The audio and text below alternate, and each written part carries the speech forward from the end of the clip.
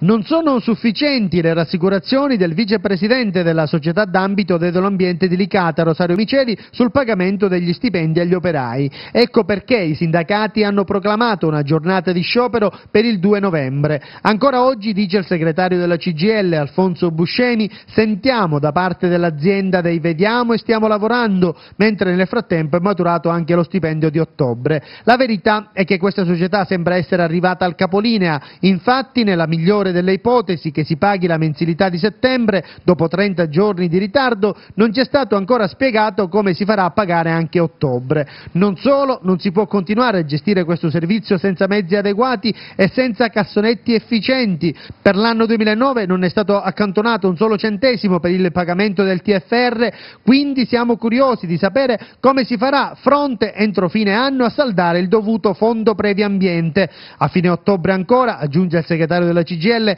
non è stato distribuito il vestiario invernale. Questo stato di abbandono si riflette anche sulla organizzazione del lavoro, dove spesso si improvvisa e non si rispettano le corrette relazioni sindacali. Intanto è stata convocata un'assemblea dei lavoratori per domani, dove oltre a confermare tutte le ragioni dello sciopero del 2 novembre, saranno intraprese tutte quelle iniziative necessarie per fare in modo che i sindaci appartenenti all'ambito escano dal silenzio assoluto su questa triste vicenda, come se la cosa non gli appartenesse appartenesse. Diverse volte, conclude Buscemi, abbiamo chiesto un confronto con loro attraverso il CDA della Dedalo, ad oggi continuano a sfuggire al confronto.